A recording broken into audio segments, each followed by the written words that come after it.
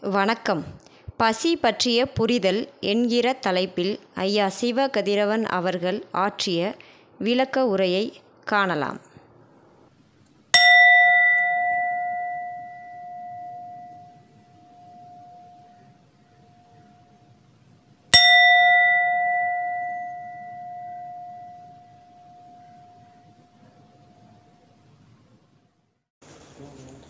நமக்கு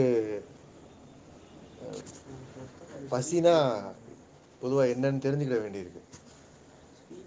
பசினா என்னன்னு தெரியல. நம்ம தெரியல. நமக்கு என்னெல்லாம் தெரிஞ்சிருக்கோ சாப்பாடு பற்றி சாப்பிட்ணுன்னு சாப்பிட்றதுக்கு முன்னால் எதையெல்லாம் தெரிஞ்சு வச்சுருக்கோமோ அதையெல்லாம் பசியோட மேட்ச் பண்ணி பொருத்தி பொருத்தி பார்த்து பசி இப்படி இருக்கும் அப்படி இருக்கும் அப்படின்லாம் நம்ம நினச்சிக்கிறோம் அது பெருவாரியாக வேலை செய்யும். பசி எடுத்து சாப்பிட்டோம்னு நினச்சி சாப்பிட்ற போது வேலை செய்கிறது உண்டு.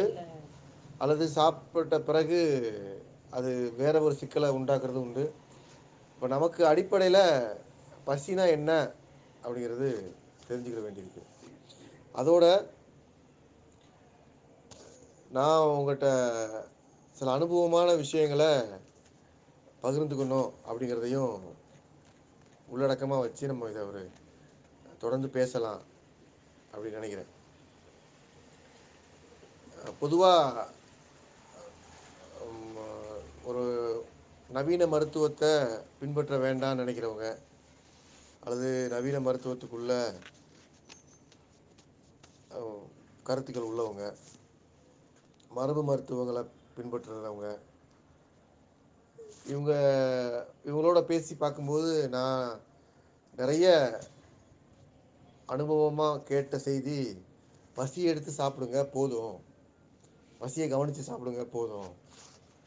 மற்ற எதுவுமே வேண்டியதில்லை. எல்லா நோயுமே அதுலேயும் சரியாயிடும் அப்படின்னு சொல்கிறாங்க இது இது எப்படி சொல்கிறீங்க அப்படின்னு கேட்குற போது நான் எங்கள் பேஷண்ட்டுக்கு பார்க்கும்போது அப்படின்னு அந்த மருத்துவர்கள் சொல்கிறாங்க பேஷண்ட்டுக்கு நான் இதை தான் கொடுக்குறோம் அப்படின்னு சொல்கிறாங்க கடுமையாக நோய் கடுமையான நோய் இருந்தாலும் தீவிரமான நோய் இருந்தாலும் அந்த நோயினுடைய தன்மைக்கு தகுந்தது மாதிரி உடம்புல பசி வரும் அப்படிங்கிற சில விதிகள்லாம் விளக்கி சொல்கிறாங்க இப்படி சொன்னது மேலே அப்படி சொன்ன அடிப்படையில் சாப்பிட்டது மேலே நோய் சரியாக இருக்குது நோயினுடைய தீவிரம் குறைஞ்சிருக்கு அப்படிங்கிற ஆதாரமும் சொல்கிறாங்க இப்படி பசி பற்றி நம்ம பேசும்போது ஒரு நேரடியான உடல் நலத்துக்கும் பசிக்கும் சம்மந்தம் இருக்குது நேரடியாக நம்ம பசி எடுத்து சாப்பிட்டாலே உடல் நலம் மேம்பட்டுரும் அப்படின்னு ஒரு தரப்பு தொடர்ந்து பேசுகிறாங்க இது மாதிரி மரபு வைத்தியங்கள்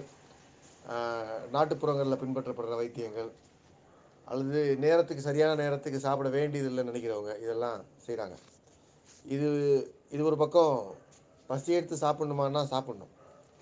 ஆனால் நமக்கு நான் பார்க்குற அளவில் நமக்கு என்ன சிக்கல் இருக்குதுன்னு நான் நினைக்கிறேன்னா நமக்கு பசினா என்னன்னு தெரியாது. இந்த உலகத்தில் இருக்கிற எல்லா உயிர்களுக்கும் பசி உண்டு. இந்த உலகத்தில் இருக்கிற செடி கொடிகளாக இருக்கட்டும் விலங்கினங்களாக இருக்கட்டும் ஒரு சிறிய உயிர் இயக்கம் இருக்கிற சிறிய மிகச்சிறிய உயிரியாக இருந் இருக்கிறதுலேருந்து மிகப்பெரிய விலங்கினங்கள் வரைக்கும் கூட பசி உண்டு. எல்லாத்துக்குமே பசி உண்டு. இப்போது பசினா என்ன அப்படின்னா எல்லா ஜீவராசிகளுக்கும் இருக்கிறது மாதிரியான ஒரு உணர்வு அப்படின்னு நம்ம எடுத்துக்கிட்டு அந்த வகையில் சாப்பிட்லாம். ஆனால் நமக்கு என்ன பிரச்சனை வந்துடுதுன்னா மனிதர்களுக்கு பசினா என்னன்னு தெரியல. அல்லது இன்றைய நவீன மனிதர்களுக்கு பசினா எப்படி இருக்கும்? அப்படிங்கிறத பற்றி ஒரு போதுமான புரிதல் இல்லை. பெரும்பாலும் ஒரு காட்சியில் உணவை பார்த்த உடனே பசி வந்துடுது சில குறிப்பிட்ட வகையான ருசியான உணவை பார்த்தா பசி வந்துடுது கூட்டமாக சேர்ந்து நண்பர்களோடு இருந்தோம்னா பசி வந்துடுது தேநீர் கடைக்கு போனோம்னா தேநீரை பார்த்த உடனே தேநீர் சாப்பிட்லாம் அப்படிங்கிற தேநீர் பசி வந்துடுது சும்மா சும்மா தண்ணியை பார்த்த உடனே தண்ணி குடிக்கலாம் அப்படின்னு பசி தண்ணி அருந்துறதுக்கான ஒரு தேவை உருவாகுது. இதெல்லாம் நம்ம பசி நினச்சிட்ருக்கோம் ஆனால் உளவியல் ஆய்வாளர்கள் என்ன சொல்கிறாங்கன்னா உங்கள் மனம் சாப்பிடணும்னு நினச்சிச்சுன்னா உங்களுக்கு பசி உருவாகும் அப்படின்னு சொல்கிறாங்க உங்கள் மனம் நினச்சா உங்களுக்கு பசி உருவாகும். உங்கள் மனம் நினச்சா உங்கள் பசி போயிடும். அப்படி சொல்கிறாங்க இதில் அதை எப்படி நீங்கள் சொல்கிறீங்கன்னு கேட்டு கேட்டு பார்க்குற போது அந்த அவங்களுடைய கட்டுரைகளை படிக்கும்போது நீங்கள் ஒரு இடத்துல உட்காந்து கடுமையான பசியில் உட்காந்து சாப்பிட போகிறீங்க அப்படி சாப்பிட்டுக்கிட்டு இருக்கும்போது உங்களுக்கு ஒரு தொலைபேசி அழைப்பு வருது. உங்கள் அப்பாவுக்கு ரொம்ப உயிர் போராட்டமான உடல்நிலை மோசமாக இருக்குது ரொம்ப சீரியஸாக இருக்குது உடனே நாங்கள்லாம் ஹாஸ்பிட்டல் கூட்டிகிட்டு போய்கிட்டு இருக்கோம் அவரை. நீ எங்கே இருக்கீங்கன்னு கேட்கும்போது உங்கள் பசி எங்கே போகுது? அப்போ உங்கள் மனம் வந்து உங்கள் பசியை மாற்றி அமைக்குது அப்படின்னு ஆதாரபூர்வமாக உளவியல் ஆய்வாளர்கள் சொல்கிறாங்க இப்படி ஒரு உளவியல் பார்வையோட பசியை நம்ம பார்க்கல நமக்கு நிஜமாகவே பசிக்குது நிஜமாகவே பசிக்கலன்னு நினச்சிட்ருக்கோம் அடிப்படையில் நீங்கள் நோய் இல்லாமல் வாழணும் அப்படின்னா பசி எடுத்து சாப்பிட்ணும் அப்படிங்கிறது எவ்வளவு முக்கியமானதோ அதே அளவு முக்கியமானது நீங்கள் பசி எடுத்து சாப்பிட்ற போது எது பசின்னு உங்களுக்கு தெரியணும் எது பசின்னு தெரியும் அப்படின்னு சொன்ன உடனே நான் வேற ஒரு இடத்துல பேசுகிற போது என்ன சந்தேகம் வந்துருச்சுன்னா பசிக்கு நான் ஏதோ பட்டியல் சொல்லுவேன்னு நினச்சிட்டாங்க. பசினா என்ன? எது பசி? அப்படின்னா பசி என்பது வயிறில் காலியான உணர்வு. பசி என்பது வேர்க்கிற உணர்வு. பசி என்பது ஏதாவது சாப்பிட்லாங்கிற உணர்வு. பசி என்பது தலை சுற்றல். பசி என்பது நமக்கு வாந்தி வர்றது மாதிரி இருக்கும். பசி என்பது காதடைக்கும். இப்படியெல்லாம் இருந்துச்சுன்னா இந்த குறியீடுலாம் உங்களுக்கு இருந்துச்சுன்னா உங்களுக்கு பசி வந்துருச்சுன்னு அர்த்தம். அப்படின்னு பசியை இப்படி தான் புரிஞ்சு வச்சுருக்கோம் ஆனால் உண்மையிலேயே எது பசி அப்படின்னா உங்களுடைய அந்த நேரத்தில் உங்களை தகவமைச்சுக்கிறணும் தகவமைச்சுக்கிறணுன்ற வார்த்தையை நான் உங்களுக்கு சொல்கிறேன் அந்த சூழலுக்கு உங்களை பொருத்திக்கிறணும் நீங்கள் மழை பெய்யுது. நீங்கள் ஒரு மழை பெய்கிற சூழலில் இருக்கிறீங்க. நல்ல காற்றும் மழையுமா பெய்கிற சூழலில் இருக்கிறீங்க. அப்படி மழை பெய் பெஞ்சிட்ருக்கிற போது ஏதாவது சாப்பிட்டா நல்லாயிருக்கும் அப்படின்னு உங்கள் உடம்புல உங்கள் செரிமான மண்டலத்திலேருந்து ஒரு அழைப்பு வருது. அந்த நேரத்தில் நீங்கள் என்ன சாப்பிட்லாம் அப்படின்னு யோசிக்கிறீங்க? ஒரு சூடாக ஒரு தேநீர் குடிக்கலாம் அப்படின்னு தோணுது. இந்த மழை சூழலில் காற்று சூழலில் அந்த அந்த குளிரை தாக்கு பிடிச்சிக்கிறதுக்கு உங்கள் உடம்பு ஒரு தேவையை உருவாக்குது. அந்த தேவையில் நீங்கள் தேநீர் குடிக்கிறீங்க. அப்போ குளிர்காலத்தில் மழை காலத்தில் அந்த குறிப்பிட்ட நேரத்தில் உங்கள் உடம்பு அந்த குளிரை தகவமிச்சிக்கிறதுக்கு அந்த மழையில் நீங்கள் நிற்கிறதுக்கு தாங்கி கொள்றதுக்கு ஒரு ஆற்றல் வேணும்னு இருக்கு இல்லையா?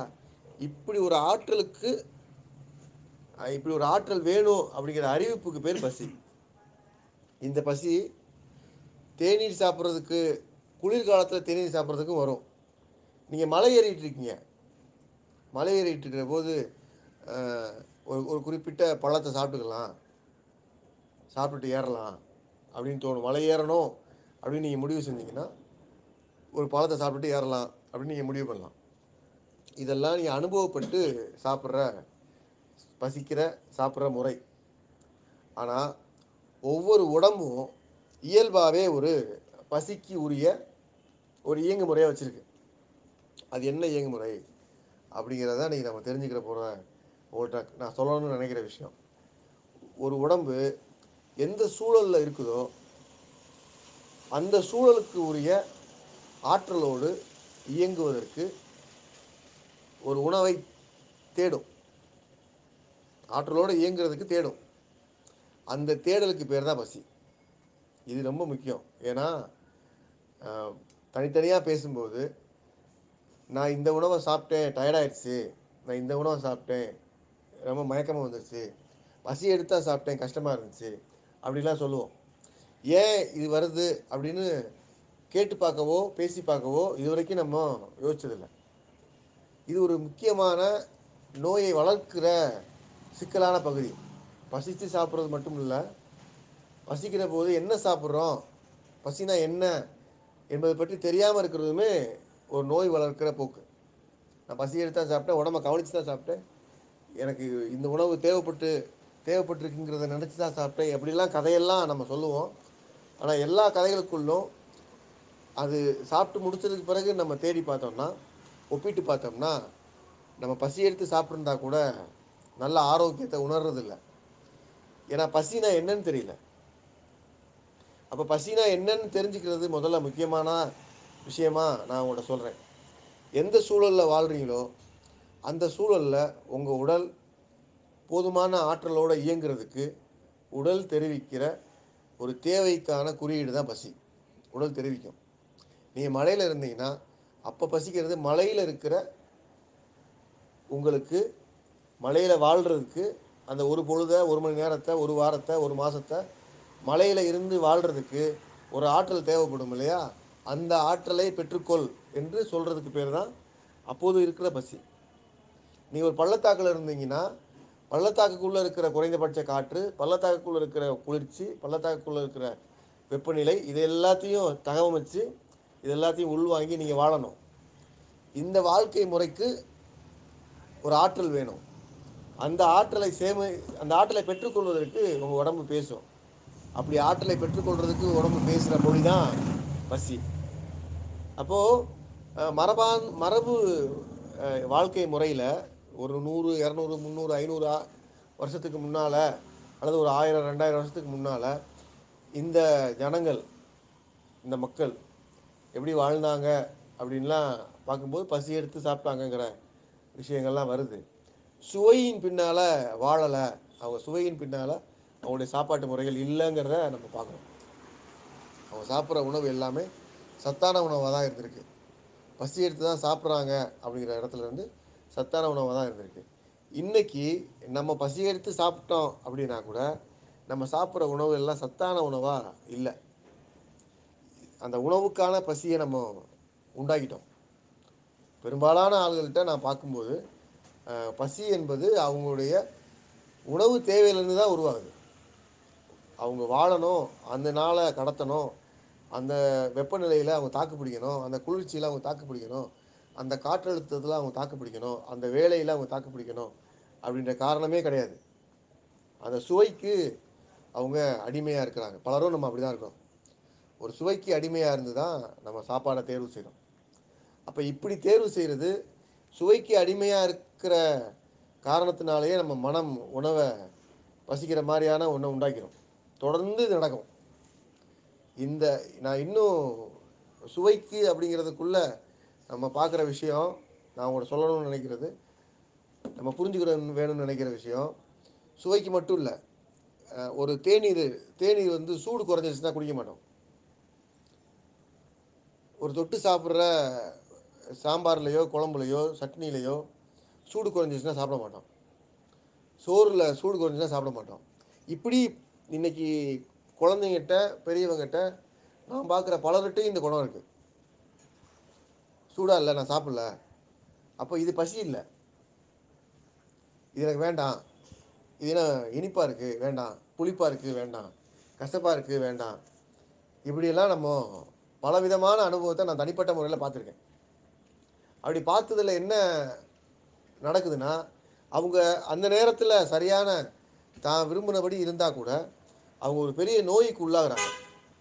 காலப்போக்கில் தொடர்ந்து இப்படி செய்கிற போது ஏதாவது ஒரு வகையில் அவங்க உடலினுடைய எதிர்ப்பு சக்தி குறையும் போது எளிமையாக நோய் பற்றி கொள்கிற நோய்க்கு உள்ளாகிற ஆளுகளாக மாறிடுறாங்க. இது ஒரு இது இது ஒரு பக்கம். இன்னொன்று நான் இப்படி தான் இருக் இருக்கணும் அல்லது இப்படி தான் இருப்பேங்கிறது அவங்களுக்கு அவங்கள அறியாமலேயே மனசுக்குள்ள ஒரு இறுக்கத்தையும் உளவியல் சார்ந்த ஒரு மன நெருக்கடியவும் உருவாக்குது. இது நம்ம பார்க்குறோம். அப்போது பசி அப்படிங்கிறதுல ரொம்ப துல்லியமாக நம்ம தெரிஞ்சு கொள்ள வேண்டிய விஷயமா நான் என்ன சொல்கிறேன்னா உங்களோட பகிர்ந்துக்கிறது. எந்த சூழலில் நீங்கள் இருக்கிறீங்களோ அந்த சூழலுக்கு உரிய உணவை உங்கள் உடம்பு கேட்கும். அதுதான் பசி. அதுதான் பசி. அப்போ எந்த சூழலில் இருக்கிறோம் உடம்புங்கிறது ரொம்ப முக்கியமானதாக நீங்கள் புரிஞ்சுக்கிட்டீங்கன்னா உடம்பு என்னங்கிறத நீங்கள் புரிஞ்சுக்கிட்டீங்கன்னா பசியினுடைய தேவையவும் பசியினுடைய இயக்கத்தையும் நீங்கள் புரிஞ்சுக்க முடியும். அப்போ உடம்பு உடம்பை பற்றி நம்ம உடம்புங்கிறது நம்ம தெரிஞ்சுக்கொள்ள வேண்டிய இன்னொரு முக்கியமான பகுதியாக நான் உங்களுக்கு அறிமுகப்படுத்துகிறேன் ரொம்ப எளிமையாக ஒரு சுருக்கமாக சொல்கிறேன் நம்ம பின்னால் தேவையை ஒட்டி விரிவாக பேசிக்கலாம் உடம்பை பற்றி பேசுகிற போது சுருக்கமாக இந்த உலகத்தில் எல்லா எல்லா பொருட்களும் எல்லா பொருட்களுமே பஞ்சபூதங்களால் தான் இருக்குது இந்த உலகத்துக்குள்ளே இருக்கிற ஏதோ ஒரு கலவையாக தான் இந்த எல்லா பொருட்களுமே இருக்கும். இந்த உலகத்தில் இருக்கிற எல்லா பொருட்களும் இந்த உலகத்துக்குள்ளே இருக்கிற ஆற்றல்னால தான் கட்டப்படுது. வெளியிலேருந்துலாம் யாரும் கண்டுபிடிச்சிலாம் வைக்கல. எல்லா பொருட்கள்லையும். நாற்காலி மேசை நம்ம போட்டிருக்கிற ஆடைகள் நம்ம பயன்படுத்துகிற பொருட்கள் எல்லாவற்றிலுமே இந்த உலகம் இந்த உலகத்தினுடைய உட்பொருளாக இருக்கிற பஞ்சபூதங்களில் தான் இந்த பொருட்கள்லாம் சேர்மான சேர்ந்து உருவாயிருக்கு. வேறு வேறு அளவில் சேர்ற போது வேறு வேறு பொருட்கள் கிடைக்குது. இது அடிப்படை. இந்த இந்த பொருட்களை தக்க வச்சுக்கிறதும் இந்த பஞ்சபூதத்தினுடைய இயக்கம்தான். இந்த பொருட்களை சிதைக்கிறதும் பஞ்சபூதத்தினுடைய இயக்கம்தான். இந்த உடம்பு இந்த பஞ்சபூதத்தால் கட்டி அமைக்கப்பட்ட ஒரு பொருள்.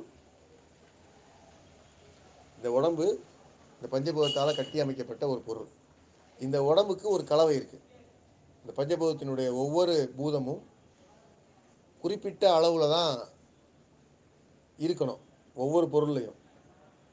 பஞ்சபூதத்துக்குள்ளே இருக்கிற ஒவ்வொரு அளவும் விகிதச்சா விகிதாச்சாரமும் குறிப்பிட்ட அளவில் தான் அந்த பொருள் மேலே வினையாற்றுற வரைக்கும் அந்த பொருள் அந்த பொருளாக இருக்கும். இப்போ வெப்பம் ஒரு ஒரு பொருளில் வெப்பம் அதிகமாகிடுச்சு அப்படின்னா என்ன ஆகும் அந்த பொருள் விரிவடைஞ்சிடும் பெருசாகிடும் வெப்பம் அதிகமானால் அந்த பொருள் பெருசாகும். இது ஒரு சயின்ஸு. வெப்பம் குறைஞ்சிருச்சுன்னா அந்த பொருள் சிறுசாகும். சேர்ந்துடும் இது ஒரு சயின்ஸு. அப்போ ஒரு பொருளுக்குள்ள ஒவ்வொரு பூதமும் ஒவ்வொரு பஞ்சபூத அள பூதமும் அதனுடைய விகிதத்தில் இருந்து மாறுபாடு அடையுது அப்படின்னா அந்த பொருளினுடைய தன்மையும் அந்த பொருளினுடைய ஆரோக்கியமும் அந்த பொருளினுடைய பலமும் அந்த பொருளினுடைய ஆற்றலும் கெட்டு போகும். இது ரொம்ப அடிப்படை. ஒரு பொருள் பஞ்சபூதத்தால் தான் கட்டமைக்கப்பட்டிருக்கு. இந்த உலகத்துக்குள்ளே இருக்கிற எல்லா பொருளும் பஞ்சபூதத்தால் தான் கட்டமைக்கப்பட்டிருக்கு.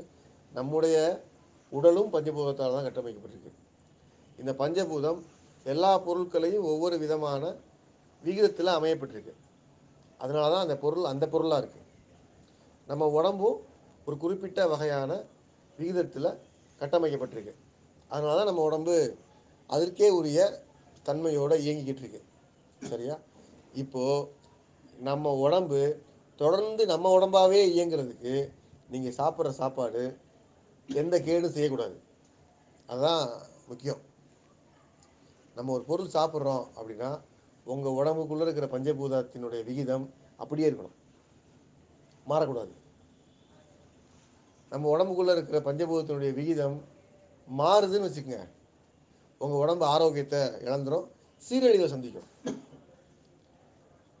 உங்கள் ஏன்னா சீராக இருக்கிறதுக்கான அடிப்படை உங்கள் உடம்பு பஞ்சபூதத்தினுடைய அந்த விகிதத்தில் அமைய அமைஞ்சு இருந்தால் மட்டும்தான் சீராக இருக்கும். நீங்கள் சாப்பிட்ற உணவு பஞ்சபூதத்தினுடைய விகிதத்தை அப்படியே பராமரிக்கும் அப்படின்னா அது நல்ல உணவு. பசி என்பதும் இந்த விகிதாச்சாரம் மாறப்போகுது. இந்த விகிதாச்சாரத்துக்குள்ளே ஒரு புது கலவை உருவாகுது. உடனடியாக அதை பலப்படுத்தணும் அப்படிங்கிற அடிப்படையில் தான் பசியே உங்களுக்கு வருது. எனக்கு குளிர் அதிகமாயிருச்சு. இதை இதை சரி கட்டணும். எனக்கு ஆற்றல் வேணும் அப்படின்னா அப்போ பசிக்கும். எனக்கு வெப்பம் அதிகமாயிருச்சு. இதை சரி கட்டணும். ஆற்றல் வேணும்னா அப்போ பசிக்கும். அப்போது உங்கள் உடம்புக்குள்ளே என்ன மாற்றம் வந்திருக்கு அப்படிங்கிறத புரிஞ்சுக்கிட்டு நீங்கள் தேர்வு பண்ணுற சாப்பாடு சரியாக இருக்கும் அப்படின்னா உங்கள் விகிதாச்சாரம் பஞ்சபூதத்தினுடைய அளவு மாறாமல் இருக்கிற பட்சத்தில் நீங்கள் ஆரோக்கியமாக இருப்பீங்க பசி எடுத்து சாப்பிட்டாலும் கூட. எனக்கு இந்த பஞ்சபூதத்தினுடைய இந்த உடல் அமைப்பு கோட்பாடு புரியுது உங்களுக்கு? நான் சொல்கிறது உடல் எப்படி அமையப்பட்டிருக்கு? பஞ்சபூதத்தால் க அமை அமையப்பட்டிருக்கு. இந்த பஞ்சபூதத்தால் அமையப்பட்ட இந்த உடல் தொடர்ந்து இயங்கணும் தொடர்ந்து ஆரோக்கியமாக இருக்கணும் தொடர்ந்து நலமாக இருக்கணும் அப்படின்னா இந்த பஞ்சபூத கலவை முன்ன பின்ன மாறாமல் இருக்கணும். அப்போ இந்த பஞ்சபூத கலவையை முன்ன பின்ன மாறாத உணவாக நீங்கள் சாப்பிடணும். ராத்திரி வெப்பம் இருக்காது. இரவு வந்து வெப்பம் இருக்காது. வெப்பம் இல்லாத போது ஒரு மிதமான குளிர்ச்சி. இரவு நேரத்தில் வெப்பம் இல்லாத சூழல் இருக்குது மிதமான குளிர்ச்சி இருக்குது மிதமான குளிர்ச்சியும் ஒரு மிதமான காற்றும் மிதமான குளிர்ச்சியும் இருக்கிற நிலையில் நீங்கள் சாப்பாடு தேர்வு பண்ண போகிறீங்க அப்போது இந்த அளவில் இருக்கிற சூழலில் நீங்கள் சாப்பிட்ற சாப்பாடு கப கப கபன்னு வெப்பத்தை உண்டாக்குற சாப்பாடாக இருந்ததுன்னா நீங்கள் சாப்பிட்டு முடிச்ச அந்த உணவு உங்கள் வயிற்றுக்குள்ளே போய் வெப்பத்தை தூண்டிடுச்சு அப்படின்னா உங்களுக்கு தூக்கம் வராது. ஆனால் நீங்கள் பசி எடுத்தா சாப்பிட்ருப்பீங்க அல்லது பசி எடுத்து தான் நினச்சி சாப்பிட்ருப்பீங்க அப்போ நம்ம பசி எடுத்து சாப்பிட்றோம் அப்படின்னா அந்த சூழலில் இருக்கிற நம்ம எந்த சூழலில் இருக்கிறோம்? நம்ம உடம்புக்குள்ளே இருக்கிற கலவையில் என்ன மாதிரியான உணர்வு இருக்குது அதை புரிஞ்சுக்கிட்டு அந்த வகையில் உங்களுடைய உணவு தேர்வு இருக்கும் அப்படின்னா அதுதான் உண்மையிலேயே மிக சரியான உணவு. அதுக்கு பேர் தான் பசி. இரவு நேரம் தூங்க போகிறோம் நாளை காலையில் தான் போய் ஊரில் போய் இறங்குவோம் அப்படின்னு கழுத்து வரைக்கும் பிடிச்சதை சாப்பிட்டு போகிறது இல்லை இரவு பயணிக்க போகிறோம் அப்படின்னா பயணத்துக்குரிய உடலினுடைய தேவை என்ன? பயணம் பண்ணும்போது உடலினுடைய தேவை எப்படி இருக்கணும்? உடல் எப்படி இயங்கும்? ஒரு பயணிக்கிற ஒரு இப்போ நான் உங்களுக்கு ஒரு மருத்துவ ஆலோசனையாகவோ உணவு ஆலோசனையாகவோ இருக்கிறேன் அப்படின்னா உங்களுக்கு நான் பேசுகிற போது எல்லாருக்கும் இந்த அறிவு இருக்குமாங்கிறது தெரியல. ஒரு புரிதல் உள்ளவங்களுக்கு தேடல் உள்ளவங்களுக்கு விருப்பம் உள்ளவங்களுக்கு தான் இது நம்ம பேச முடியும்.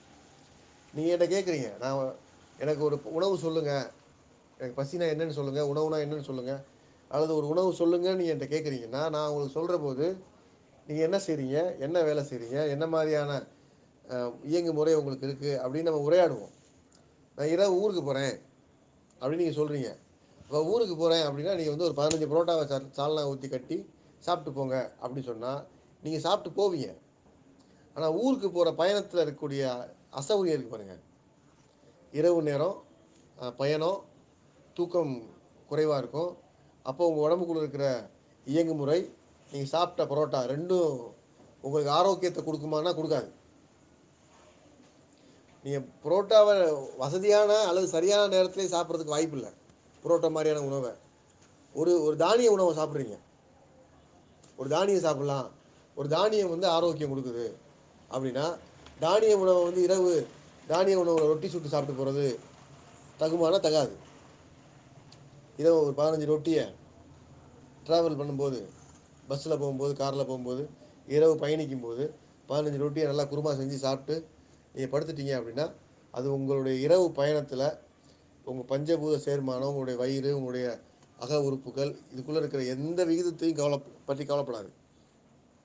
மறுநாள் காலையில் அதனுடைய இயல்பை ரொம்ப மோசமான நிலைக்கு கொண்டு போயிடும் உங்களால் அடுத்த நாள் நீங்கள் பார்க்க வேண்டிய வேலையை நிச்சயமாக பார்க்க முடியாத அளவுக்கு அதனுடைய உடல் அந்த சேர்மானம் கலைஞ்சு போயிருக்கும். இது ஏன் அப்படின்னா நீங்கள் ராத்திரி சாப்பிட்ட பசி எடுத்து சாப்பிட்ட உணவினுடைய தொந்தரவு. அந்த உணவு ஏற்படுத்தின விளைவு. அந்த உணவு நல்ல உணவானா நல்ல உணவு? நீங்கள் பசி எடுத்து சாப்பிட்டீங்களானா நீங்கள் பசி எடுத்து தான் சாப்பிட்ருக்கீங்க ஆனால் உண்மையிலேயே நடந்தது என்ன அப்படின்னா உங்களுடைய சூழல் உங்களுடைய தேவை என்னவாக இருக்குது அப் என்பதை பற்றி கவலைப்படாமல் உங்களுடைய உடல் ஆரோக்கியத்தை பற்றி தேடாமல் விரும்பாமல் வெறுமனே சுவையை மட்டும் நீங்கள் பின்பற்றி சாப்பிட்டீங்கன்னா இந்த சிக்கல் ஏற்படும். இந்த சிக்கல் ஏற்படும். அப்போ ஒவ்வொரு நேர பசியும் ஒவ்வொரு நேரத்துலையும் நம்ம உடம்புக்குள்ள நமக்கு தே தேவைப்படுற உணவு என்பது அந்த நேரத்தில் அந்த சூழலில் நாம் வாழ்வதற்கு உரிய ஒன்றை ஆற்றலை உடம்பு பெற்றுக்கொள்வதற்கு ஒரு அறிவிப்பு கொடுக்குது. அங்கே நம்ம தகவமைச்சிக்கிறதுக்கு அந்த சூழலில் தொடர்ந்து இயங்குறதுக்கு நம்ம உடம்பு ஒரு அறிவிப்பு கொடுக்குது. அந்த அறிவிப்பின் அடிப்படையில் நமக்கு பசி உணர்வு ஏற்படுது. அந்த அறிவிப்பு தான் இ- இந்த இந்த கவனம் நமக்கு தனித்தனியாக எல்லாருக்கும் கிடைக்கணும்னு நான் விரும்புகிறேன் இந்த கவனம் தனித்தனியாக வேணும். ஒரு மருத்துவமாக பேசணும் அப்படின்னா ஒரு மருத்துவர் முன்னால் உட்காந்து எல்லாருக்கும் பேசிடலாம். பழைய இலக்கியங்கள்ல அப்படி இருக்குது எந்த உணவு சாப்பிடுவாங்க? நீங்கள் தொல்காப்பியத்தில் பார்த்தீங்கன்னா ஒவ்வொரு திணையை சார்ந்தவங்களும் ஒவ்வொரு விதமான உணவு சாப்பிடுவாங்க. குறிஞ்சி திணையில் உள்ளவங்க ஒரு உணவு சாப்பிட்றாங்க. குறிஞ்சி திணையில் வாழ்கிற மக்களினுடைய பழக்க வழக்கத்துக்கு தகுந்த மாதிரி உணவு அது. அவங்க மலையில் வேலை செய்கிறவங்க மலையில் வேலை செய்கிறவங்களுக்கு தகுந்தது மாதிரியான உணவாக அது இருக்கணும். அங்கேயே கிடைக்கும் அப்போ உணவு தேர்வு அப்படின்னா நீங்கள் பக்கத்தில் இன்றைக்கி இந்த ஊரில் இருக்கிறீங்க மதுரையில் இருக்கிறீங்க அப்படின்னா மதுரையிலேயே இருக்கிற உங்கள் பக்கத்துலேயே கிடைக்கிற உங்கள் உடம்புக்கு தேவையான புரிஞ்சு போகிற ஒரு உணவை நீங்கள் சாப்பிட்றது தான் பொருத்தம். அதுதான் ஆரோக்கியமாக இருக்கும். அப்படி தான் இயற்கையாகவே அது அமையப்பட்டிருக்கு. எல்லா எல்லா சூழலுக்கும். இப்போது சளி பிடிக்கிற மாதிரி உடல் காற்று மாறுதுன்னு வச்சுக்கோங்க. இன்னொரு இது சம்மந்தமில்லாத செய்தி ஆனாலும் உதாரணமாக இருக்கிறதுனால சொல்கிறேன் பிரபஞ்சத்தினுடைய இயக்கத்தில் சுற்றுச்சூழலினுடைய மாற்றம் எப்படி இருக்கும்னு சொல்கிறேன் சளி பிடிக்கிற மாதிரி ஒரு உடல் உடல் நிறைய பேருக்கு சளி பிடிக்க போகுது அப்படின்னு ஒரு உடல் வாகு வருதுன்னா உடனே பக்கத்தில் துளசியோ குப்பமேனியோ நிறையா பூக்கும். நிறையா விளையும். நீங்கள் துளசியும் குப்பமேனியோ எடுத்துனீங்கன்னா எடுத்து சாப்பிட்டா சளி குறையும். இந்த உடம்புக்கு என்ன தேவை அப்படிங்கிற அடிப்படையில் ஒரு விளைச்சல் சுற்றி நடக்குது. ஒரு விளைச்சலின் அடிப்படையில் தான் உடம்புக்கு தேவையும் அமையுது. இந்த விதியை புரிஞ்சுக்கிறது பசியை புரிஞ்சுக்கிறதுக்கு ரொம்ப உதவியாக இருக்கும். என்ன கிடைக்குதோ நம்ம சூழலில் என்ன விளையுமோ அதுதான் நம்ம உடம்பை கட்டமைச்சு வச்சிருக்கிற இந்த பஞ்சபூத விகிதத்தை கெடுக்காத உணவாக இருக்கும் இருக்கும். இந்த வகைப்பட்ட உணவை உரிய நேரம் பார்த்து உரிய காலம் பார்த்து உரிய அளவு பார்த்து சாப்பிட்றது தான் உண்மையிலேயே சரியான உணவு உண்ணும் முறை. அப்போ இதில் வந்து எனக்கு குறிப்பிட்ட நேரத்தில் நான் ஒரு உணவை எடுத்துக்கிட்டேன். அந்த உணவை எடுத்தது மேலே எனக்கு ஒரு நோய் வந்துருச்சு அப்படின்னா நம்ம எடுத்த உணவு உணவு பட்டியலே வராது. பிரியாணி சாப்பிடுவோம். ஃப்ரைட் ரைஸ் சாப்பிடுவோம். பானிபூரி சாப்பிடுவோம். காளான். காளான். இதெல்லாம் வந்து உணவு பட்டியலே வராது. பானிபூரிலாம் நீங்கள் வந்து எந்த திரையை சார்ந்ததுனே தெரில இது இப்போ பிரியாணி பிரியாணி சாப்பிட்றாங்க அப்படின்னா அது ஒரு நிலத்துக்கான உணவாக இருந்திருக்கணும் இருந்திருக்கலாம் அது வந்து ஒரு பாரசீகத்தில் இருந்து வந்ததாக ஒரு தகவல் இருக்குது ஆனால் இந்திய சூழலில் அல்லது தமிழ் சூழலில் நீங்கள் இருக்கிற வெப்பத்தில் நீங்கள் இருக்கிற குளிர்ச்சி நிலையில் உங்களுக்கு இருக்கிற சுற்றுச்சூழலில் எந்த உணவு நல்ல உணவு அப்படிங்கிறத நீங்கள் உடம்பினுடைய தட்பத்தையும் வெப்பத்தையும் பொறுத்து நீங்கள் வாழ்கிற சூழலுக்கு பொறுத்து நீங்கள் தேர்வு செய்கிற உணவு தான் உங்களுடைய இந்த பஞ்சபூத விகிதத்தை ஒழுங்காக பராமரிச்சுக்கணும்.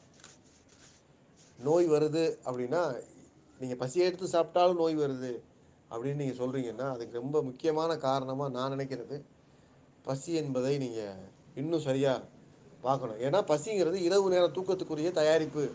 நீங்கள் இரவு ஒழுங்காக தூங்கணும்னு உங்கள் உடம்பு சொல்லும். அது பசியாக தான் வெளிப்படும். நல்லபடியாக தொந்தரவு இல்லாமல் தூங்கணும். அது தூங்குறதுக்குரிய தூங்குறதுக்குரிய நேரத்தில் உங்கள் உங்கள் உடம்பு மிகாமலோ குறையாமலோ ஆற்றல் மிகாமலோ குறையாமலோ உடம்புக்குள்ளே ஒரு இயக்கம் நடக்கணும். அதுக்குரிய உணவை நீங்கள் தேர்வு செய்யணும். அதுக்கு தானே பசி வருது இரவு பசி. முன்பகல் பசி நல்லா வேலை செய்கிறதுக்கு தகுந்த மாதிரி வரும். நல்லா வேலை செய்கிறதுக்குரிய ஆற்றல் வேணும். நிறைய பாரம் தூக்க வேண்டிய ஆளாக இருக்கலாம். அது ரொம்ப தூரம் ஓட வேண்டிய ஆளாக இருக்கலாம். உடல் உழைப்பதற்கு தகுந்த ஆற்றலோடு இருப்பதற்கு ப முன்பகல் பசி நமக்கு அறிவிக்கும் கேட்கும். காலை நேரத்தில் பசிக்கும் அதே மாதிரி ஒரு இயங்கு இயங்குமுறை இருக்குது ஒரு விதி இருக்குது இது இதன் அடிப்படையில் தான் நமக்கு பசி உணர்த்தப்படுது. இதன் அடிப்படையில் தான் நம்ம க- சில நூறு ஆண்டுகளுக்கு முன்னால் வரைக்கும் இதன் அடிப்படையில் தான் நம்ம சாப்பாடு சாப்பிட்ருக்கோம் ஆனால் இன்றைக்கி நவீன மனிதர்களாக இருக்கிறவங்கள்ட்ட உள்ள என்ன சிக்கல் இருக்குன்னா இந்த அடிப்படையில் நம்ம சாப்பிட்றது இல்லை இந்த அடிப்படையில் நம்ம விரும்புகிறதே இல்லை. இந்த அடிப்படையில் நம்ம விருப்பத்தை வச்சுக்கிட்டோம் அப்படின்னா அது ஒரு பெரிய ரிஸ்க்காக இருக்கும். இந்த அடிப்படையில் தான் நான் எனக்கு சூடுக்கு தகுந்த மாதிரி தான் சாப்பிடுவேன். குளிர்ச்சிக்கு தகுந்த மாதிரி தான் சாப்பிடுவேன். என் சுற்றி எவ்வளோ காற்று இருக்கோ அந்த காற்றுக்கு தகுந்த மாதிரி தான் சாப்பிடுவேன்லாம் நீங்கள் முடிவு பண்ணிங்கன்னா நீங்கள் சுவையான சாப்பாடை சாப்பிட முடியாத அளவுக்கு தனிமைப்படுறீங்க இப்படி ஒரு சிக்கல் இருக்குது அப்போது இந்த சிக்கலுக்கு பயந்துக்கிட்டே நம்ம வந்து எல்லாரும் போலையும் சாப்பிட்றலாம் அப்படின்னு ஒரு முடிவு பண்ணுறோம் ஒரு சமுதாய சிக்கல் இருக்குது நம்மளை வந்து தனிமைப்படுத்திடுவாங்க. சேர்க்க மாட்டாங்க? எல்லா இடங்களையும் நமக்கான உணவு கிடைக்குமான்னு தெரியாது. இப்படிலாம் இருக்குது ஆனால் இயல்பாகவே நீங்கள் ஆரோக்கியமாக இருக்கணும் அப்படிங்கிறத நீங்கள் விரும்பணும் முதல்ல. நமக்கு அப்படி ஒரு ஆர்வம் வேணும். நமக்கு அப்படி ஒரு நம்ம நமக்குள்ள நம்ம உடல் ஆரோக்கியமாக இருக்கணும் அப்படிங்கிற விருப்பம் வேணும். ஆர்வம் வேணும். அதற்காக உடல் ஆரோக்கியத்திற்காக நாம் நம்முடைய ஒழுங்குமுறையை சீர் செஞ்சுக்கிறணும் அப்படிங்கிற முயற்சி வேணும். இதெல்லாம் சேர்ந்து ஒரு புரிதலாக இருக்கிற போது தான் உங்களால் பசி என்பதை சரியாக பார்க்க முடியும். அதற்குரிய உணவை நீங்கள் சரியாக தேர்வு செய்ய முடியும். இது ரெண்டும் இல்லாத போது நம்ம எல்லாத்தையும் சாப்பிடுவோம். அது ஆரோக்கியமான உணவாக இருக்காது. உடலினுடைய அடிப்படை ஆரோக்கியத்தை சீரழிக்கிற உணவாக மாறிடும். அப்படி ஒரு சீரழிவை நோக்கி நம்ம போகக்கூடாது அப்படிங்கிறதுக்காக தான் நம்ம இதை பேசுகிறோம் நான் உங்கள்கிட்ட பகிர்ந்துக்கிறேன். பசி என்பது உங்களுடைய உடலில் இருக்கக்கூடிய உங்கள் சுற்றுச்சூழலுக்கு நீங்கள் பொருந்தி வாழ்வதற்கான தேவையை உணர்த்துகிற ஒரு அறிவிப்பு. உங்கள் வேலையை வேலைக்கு தகுந்த ஆற்றலை பெற்றுக்கொள். உறங்குவதற்கு தகுந்த சமணம் சமநிலை தவறாத ஆற்றலை பெற்றுக்கொள். இயங்குவதற்கு தகுந்த ஆற்றலை பெற்றுக்கொள் என்று உங்கள் உடம்பு உங்களுக்கு நினைவூட்டுகிற ஒரு குறியீடு தான் ஒரு குறிப்பு தான் பசி. அப்போது அந்த குறிப்பினுடைய உட்பொருள் என்னன்னா நீங்கள் எடுத்துக்கொள்கிற உணவு உங்களுக்குள் தேவைப்படுகிற ஆற்றலுக்கு பொருத்தமான உணவாக இருக்கணும். உங்களுக்கு உள்ளே தேவைப்படுற ஆற்றலுக்கு பொருத்தமில்லாத உணவாக இருந்ததுன்னு சொன்னால் நீங்கள் நீங்கள் உங்கள் உடலுக்கு எதிரான ஒரு வேலையை செய்கிறீங்கன்னு பொருள். உங்கள் ஆரோக்கியத்துக்கு எதிரான ஒரு வேலையை செய்கிறீங்க அப்போ இப்படி ஒரு சிக்கல்ல இருந்து நம்ம பாதுகாத்துக்கிறதுக்கு அதை நம்ம புரிஞ்சுக்கிறதுக்கு செய்ய வேண்டியது இதெல்லாத்தையும் நம்ம ஒழுங்குபடுத்த வேண்டியிருக்கு. நம்முடைய உணவு பழக்க வழக்கத்தை பசி பற்றிய புரிதலை. இந்த வகையில் நம்ம தொடர்ந்து பேசுகிறதும் அது குறித்து இயங்குறதும் அது குறித்து புதுசாக முயற்சி செஞ்சு பார்க்குறதும் நல்ல முறையில் நம்ம சாப்பிட்ணும். நல்ல உணவாக நம்ம சாப்பிட்ணும். அந்த உணவு நமக்கு ஆரோக்கியத்தை கொடுக்கணும் அப்படிங்கிற எல்லா அம்சங்கள்லேயும் உங்களுடைய செயல்பாடு இருக்கணும் அப்படின்னு நான் நினைக்கிறேன். அப்படி இருந்ததுன்னா ஒரு ஒரு முழுமையான ஆரோக்கியம் குறித்து நம்ம ஏதாவது செய் செஞ்சவங்களாக மாறுவோம். இல்லைன்னா வழக்கம் போல் ஆரோக்கியத்துக்கு எதிராக நம்ம இருந்துகிட்டே இருப்போம். ஆரோக்கியத்துக்கு தனியாக செலவு பண்ணிக்கிட்டே இருப்போம். நல்லா தான் சாப்பிட்டோம். ஆரோக்கியமான உணவாக சாப்பிட்ருவோம். தப்பு. தப்பான பசி நேரத்தில் சாப்பிட்ருப்போம். அது நல்லா பசி எடுத்து சாப்பிட்ருப்போம். ஆரோக்கியம் இல்லாத உணவாக சாப்பிட்ருப்போம். இப்படி ஏதாவது ஒரு வகையில் நம்முடைய ஆரோக்கியம் குரல்வாகிட்டே போகும். தொடர்ந்து முரண்பட்டுக்கிட்டே போகும். ஒரு நீண்ட காலத்துக்கு ஆரோக்கியமாக இருக்க வேண்டிய உடல் இயக்கம் ரொம்ப குறுகிய காலத்தில்